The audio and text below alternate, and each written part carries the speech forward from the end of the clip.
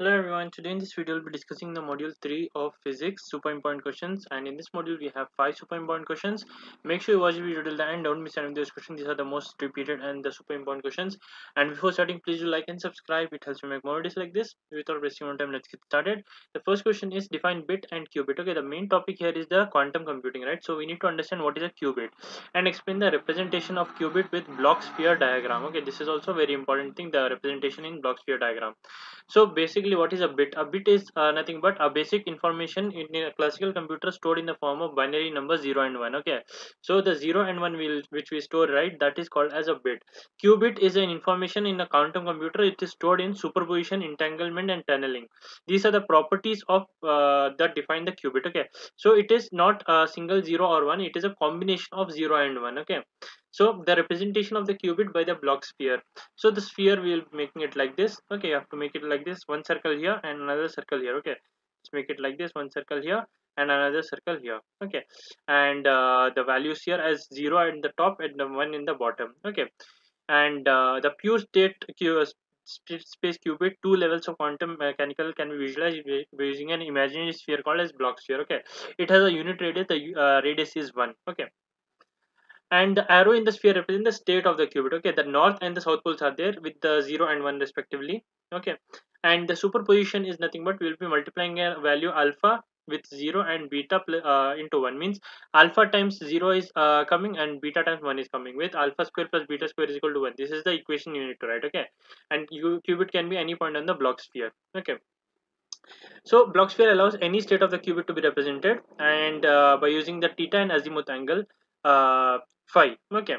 So here we have the uh, angle uh, the value here. Psi is equal to cos theta by 2 e power i phi sine theta by 2 into 1 okay this is 0 bits uh, representation. This is uh, 1 bit representation. So we'll get a point on the sphere. Okay as you can see here this is one point on the sphere right? This point is represented by that equation this equation okay?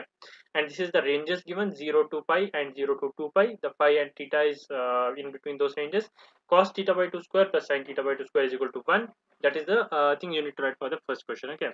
Moving on we have the second question which is CNOT gate okay? CNOT means controlled not gate okay?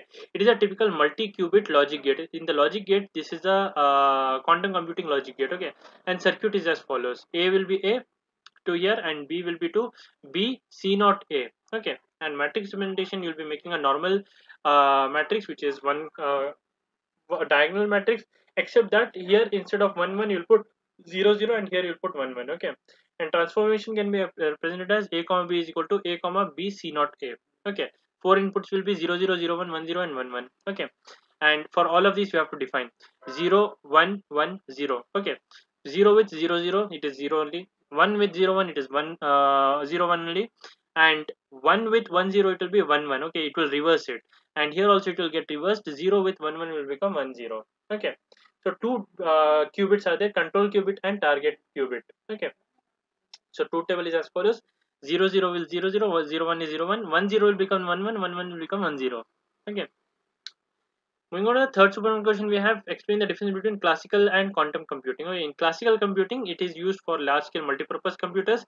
Here, it is used for high-speed parallel computers based on quantum mechanics. Information is bit-based. Uh, Here, it is quantum bit-based. Okay, based on electron spin, like the up spin or down spin, positive, negative. Information is not an and OR gate. Here, it is uh, carried out by quantum logic gates here the bits are 0 and 1 to represent information. Here qubits are represented. Okay it is simultaneously faster to run on the machines. Okay operations defined by the boolean uh, algebra. Here the operations are defined by the hilbert space and complex elements. Okay linear algebra over hilbert space. Here circuit behavior is governed by classical physics. Here it is governed by quantum uh, mechanics. So at least five points you need to remember in this uh, table. Okay Moving on to the next one question, we have state Pauli matrix and apply Pauli matrix on 0 and 1. Okay, we have to apply the Pauli matrix. Polymatrix is nothing but a set of 2 cross 2 matrix. What it is the size? What is the size is 2 cross 2. It is useful for the study of quantum computation and quantum information. Okay, and uh, Pauli matrices are given by three values will be there the sigma x sigma y and sigma z so sigma x will be 0 1 1 0 sigma y will be 0 minus i i is uh, 0 and z will be 1 0 0 minus 1 now we will uh, do the operations of 0 and 1 on all of these. Okay in this one this one this one. So when we do on 0 what we'll get is 1 0 will multiply. Okay 0 means 1 0 will multiply. 1 means 0 1 will multiply. Okay so when you do the matrix uh, multiplication we'll be getting these two values. So 0 on this will become 1 and 1 on this will become 0 okay that is for the x value. For the y value also similarly we'll be having an i i uh, i1 and minus i0 and for the z1 we'll be having 0 will remain 0 1 will become minus 1 okay that's the difference Moving on the last one question, we have explained uh, single qubit and multiple qubit along with an example. Okay, so single qubit operates on one input uh, qubits. Okay, the Hadamard gate is uh, truly a quantum gate and one of the most important in quantum computing. Okay, it has the similar characteristic of the NOT gate. Uh, it has a self-inverse gate. Okay, this is the key point. Self-inverse gate is there. It is used to create a superposition of zero and one. Okay, and the matrix representation one by root two, one one one one, uh, one one one minus one okay the output states for 0 and 1 input these two are the inputs what inputs will give here 0 and 1 and the outputs will be based on this uh, formula h plus h is equal to i okay and the circuit diagram is this the inputs will be 0 and 1 outputs can be 1 by root 2 into 0 plus 1 by root 2 into 1 1 by root 2 into 0 minus 1 by root 2 into 1 okay. And the truth table is also given here for 0 and 1 okay. And alpha 0 plus beta 1 we will be having alpha into this value whichever we have written here plus beta into 1 value which we have written here. Okay. We'll be substituting it and uh, multiple qubit operates on two or more uh, qubits. Okay the, the, what we discuss is a single qubit. In multiple qubit what happens? One of them is a control uh, qubit and control gate a with the operation of kind if a is true then do b. So it is a multiple bit if and uh, else condition. Okay if a qubit is called control qubit and b is called a target qubit. Okay first a comes which is control qubit and b is the target qubit. From the control uh, uh, qubit it goes to the target qubit okay?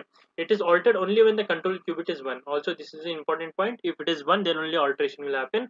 Else it will remain unaltered during the transformation okay? So basically here we'll use control gate okay?